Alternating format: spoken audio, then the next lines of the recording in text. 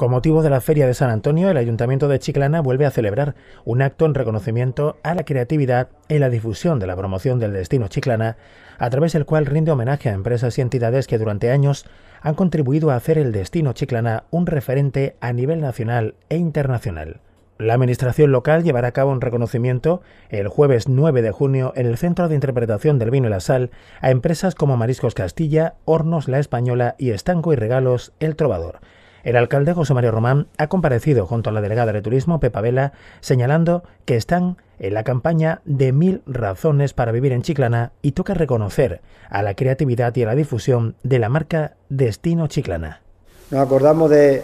y queremos reconocer a Mariscos Castilla. Mariscos Castilla es una empresa que está trabajando desde 2003 con, en el mercado de abasto, también con catering, también en la avenida del mueble, con cocederos y en la playa, que es la última apertura, eh, y sobre todo en el nombre más señero de Marisco Castilla, que es la tan conocida y afamada Venta Castilla, allí en la barriada de Carabina. Luego también la segunda empresa que vamos a, reconocer también es Ahorno La Española, son más de 80 años, más de 80 años, y precisamente hace escasas semanas eran reconocidas como el horno con la mejor pasta de almendra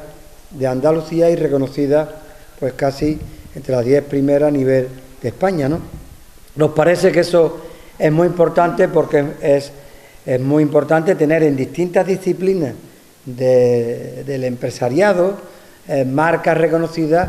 y, por tanto pasamos desde, desde los mariscos tan, tan de la costa gaditana a algo como son los productos de, derivado de esa, de esa cultura que viene del tiempo de los árabes y que, y que tiene y, que bebe con productos muy genuinos que dan fama chilana, como por ejemplo también las mismas tortas de almendra. ¿no? Y la tercera empresa que queremos reconocer es el estanco El Trovador. El estanco El Trovador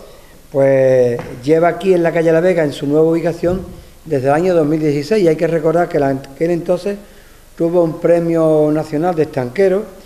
y vamos a reconocer a, las dos hermanas que lo gestionan, a Ana y a Carmen, y bueno, y yo creo que también, como no, al alma al alma mater de, del estanco del trovador, que es el estanco de Mamí, ¿no?